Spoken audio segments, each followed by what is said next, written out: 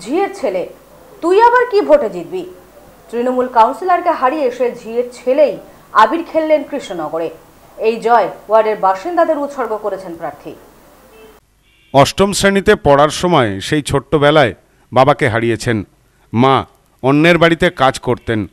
কষ্ট করে ছেলেকে মানুষ করে তুলেছেন মা। পড়াশুনো শেষ করে সংসারের দায়িত্ব নিয়েছেন।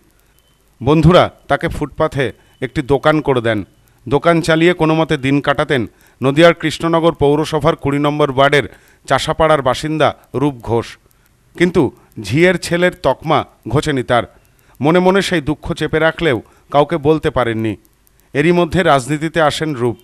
কংগ্রেস দলের প্রতি দুর্বলতা তাকে রাজনীতিতে নিয়ে আসে।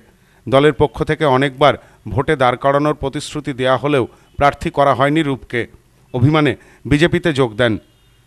কিছুদিনের মধ্যেই ভুল ভাঙে। আবারও কংগ্রেসে ফিরে আসেন। এবার পৌর ভোটে কৃষ্ণনগর পৌরসভার কুড়ি নম্বর ওয়ার্ডে তার স্ত্রী উজ্জ্বলা ঘোষ জাতীয় কংগ্রেসের প্রার্থী হন। স্ত্রীর বিপক্ষে তৃণমূলের বিরুদ্ধে লড়াই সহজ ছিল না, তবুও লড়াই ছাড়েননি তিনি। ভোটের আগে তৃণমূল কর্মীদের ঝিয়ের ছেলের তকমা শুনতে হয়েছিল তাকে, হার মানেনি রূপ।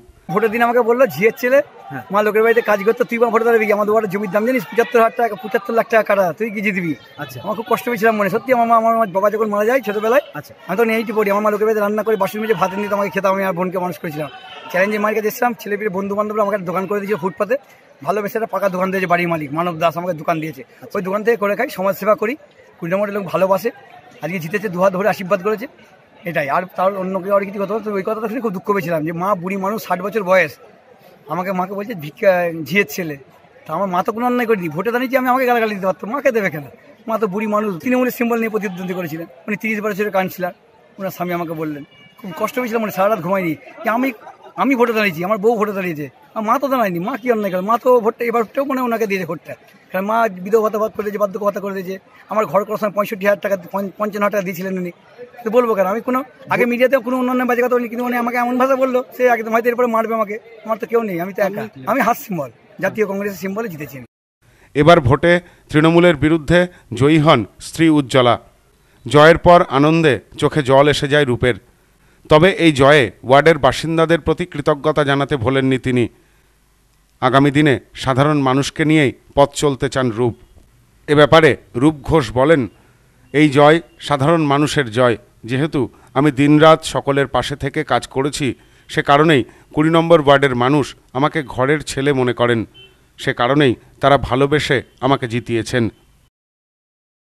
এই ভোটের খরচ কীভাবে সামলালেন আপনি? ভোটের ভোটের খরচ আমাকে কুড়ি নম্বর ওয়ার্ডের মানুষ আমাকে দু হাত ভরে দিয়েছে।